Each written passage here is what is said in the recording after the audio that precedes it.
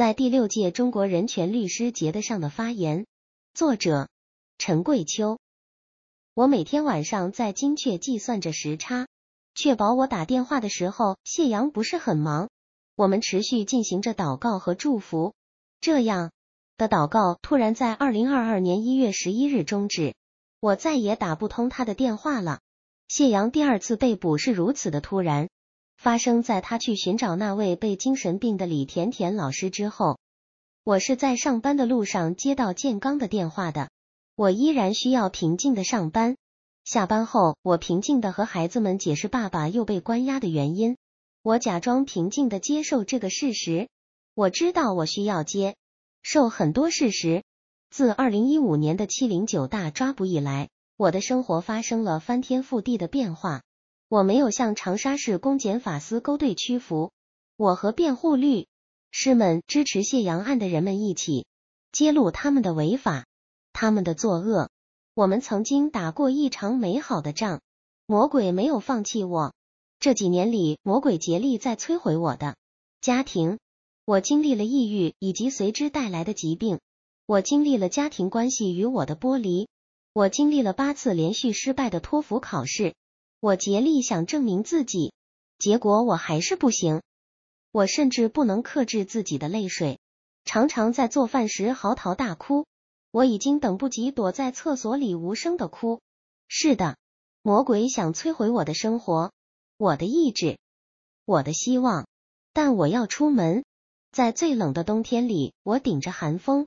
我要去教会，我的教会姊妹在等着我，她要为我读圣经。为我祷告，为我擦去眼泪。我终于走出了魔鬼的控制，神给了我平安和喜乐。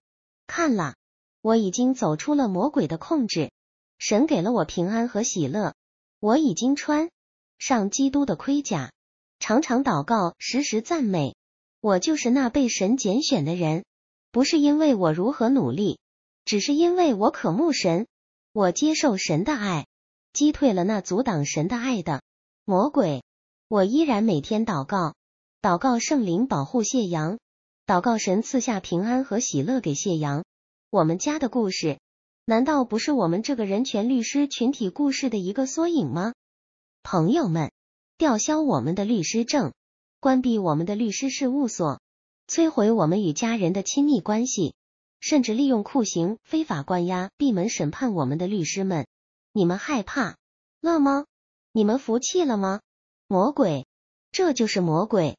他们进行着这样那样有形无形的摧毁，他们唯一的目的就是毁灭。他们能毁灭了神么呢？丁家喜、许志勇案的律师们被逼签的保密协议能掩盖酷刑吗？能掩盖那个非法法庭的罪恶吗？被酷刑后的余文生难道不是在用左手写着“自由”二字吗？八年的牢狱，难道不是吴干对他理想追求的最好诠释吗？三年后的陈家红，不是再次有着爽朗的声音吗？失踪四年的高志胜，不是对中国掌权者最好的讽刺吗？朋友们，我们不能沉沦，我们要有清晰明辨的心。世界的掌权者是那造物主上帝，不是那些酷刑我们、剥夺我们的探视权、通信权的人，不是那群明知违法。却还宣布这个颠覆、那个煽动颠覆的集团，不是那个精于计算、精于奴役我们，把我们当韭菜割，割了我们的父辈，割了我们，又来割我们的孩子们的那个集团。朋友们，我们要迎接那爱我们的神，我们还要谨防那魔鬼的化身，化身为金钱、权力、性这些东西狡猾的隐秘在细节里，让我们陷入罪里，被罪所控制。剥夺我们内心的自由，这些东西不是我们要敬拜的，他们让我们远离神的爱。因为神造我们，所以我们尊贵，我们应当被爱。我们要借着神的爱连结，我们不要在罪里受折磨。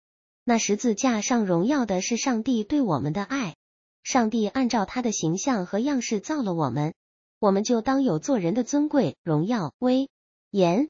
我们当被政府所尊重，我们有律师职业的权利，而不是被随意吊销执照；我们有旅行的权利，而不是全家被列入黑名单。被限制出境。我们有受教育的权利，而不是把我们的孩子们拒于学校之外。我们的身体当被尊重，不能随意被酷刑殴打折磨。